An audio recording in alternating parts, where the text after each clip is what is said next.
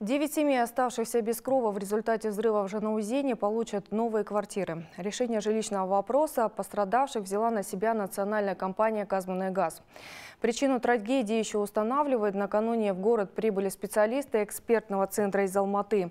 Напомню, 17 апреля в 12-квартирном двухэтажном доме произошел взрыв с обрушением на площади 150 квадратных метров.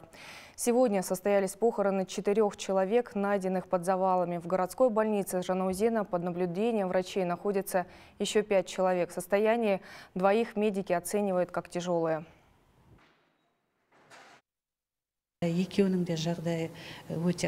Оба пациента находятся в тяжелом состоянии. Со стороны врачей проводятся все необходимые процедуры. Проводим диагностику. Оказываем всю необходимую медицинскую помощь. В настоящее время по согласованию с жильцами мы вместе осматриваем дома и готовы завтра пойти уже к нотариусу, чтобы все оформить и отдать людям ключи. Мы полностью готовы разрешить ситуацию в течение короткого периода времени.